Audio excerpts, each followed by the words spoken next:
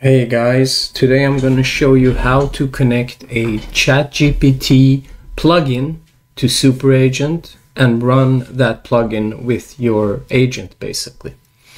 So there are a couple of things that we should talk about before configuration. So the first thing is that all ChatGPT plugins have a so-called manifest file.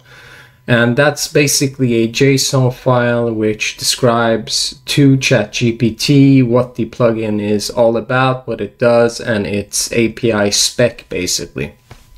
Uh, and there are different repositories where you could find these manifests for the different plugins, and they usually basically look like this. So it's a kind of JSON file with a bunch of text on how this plugin works basically. So this uh, URL is to this file is something we will need in order to um, in order to run this plugin basically on SuperAgent.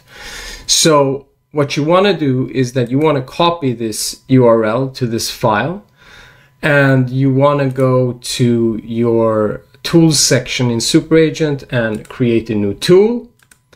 We can, uh, there's a, an, an option for ChatGPT plugin. We'll use that and we'll just enter the URL to the manifest file here. In our case, we're using listen notes.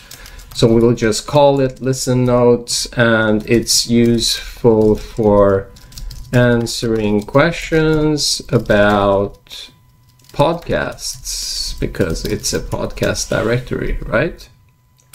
And we go ahead and create that. And then we go to agents and create an agent.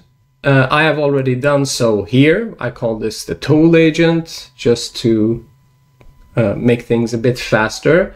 And so some important things, the model you're using needs to have the 0613 uh, in, in its name, otherwise it won't work. And these models are used to run OpenAI functions. This is specifically for running an OpenAI agent in SuperAgent. So be sure to use the GPT-4 version or the GPT 3.5 Turbo version.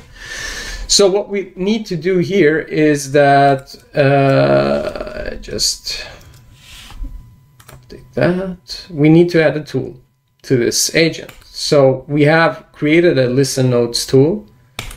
We add it and then we can query it. So how many episodes does the Lex Fridman um, podcast have?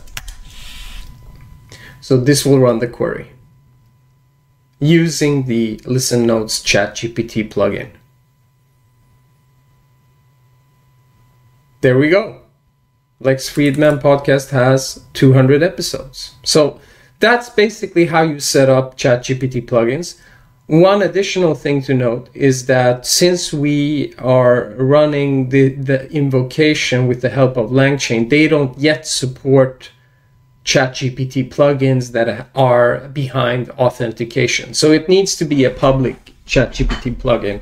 And also some of the plugin providers actually block block you from using their manifest file in other apps outside of ChatGPT. Uh, an example of that would be Instacart. So, so you need to be wary about what you use and how you use it. But this is the basic setup. Thank you very much. Have a nice day.